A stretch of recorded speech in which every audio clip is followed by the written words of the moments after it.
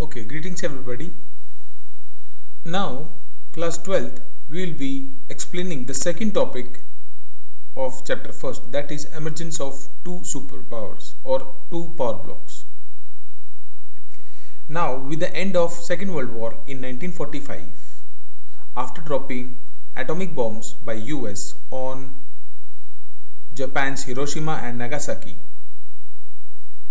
the Second World War ended and with the end of Second World War, US and USSR became two superpowers leaving behind all the major powers as Germany, England, France, etc.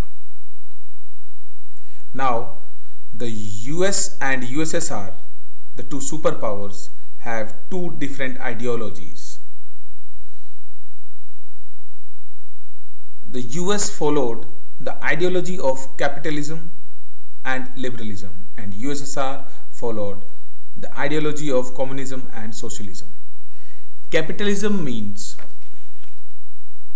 the economic systems in which businesses are owned and run for profit by individuals and not by the states. It talks about supporting the private sector then public sector for the development of the nation.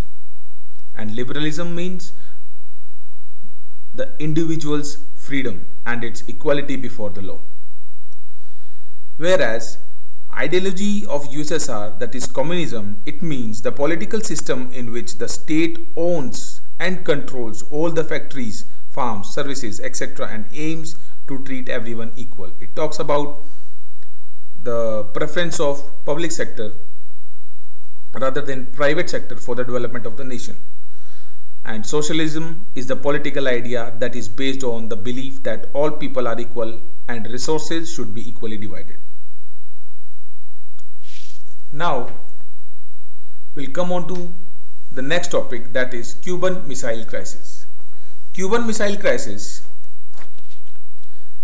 is considered as an example of confrontation and tension that developed among USS, US and USSR during the Cold War. In 1961, USSR decided to make Cuba a Russian missile launching base to attack US from a close range. Cuba was an ally of USSR but was located close to the US. In 1962, Nikita Khrushchev, leader of Soviet Union, placed nuclear missiles in Cuba. US got worried about the situation after 3 weeks and then the president of US, John F. Kennedy, ordered the American warships to intercept any Soviet ships heading towards Cuba as a way of warning USSR of his seriousness.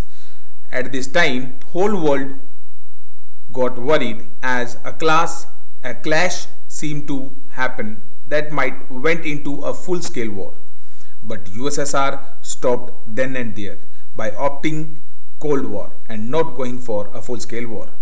This situation of worriedness, tension or clash came to be known as the Cuban Missile Crisis or Cuban or you may say it CBC.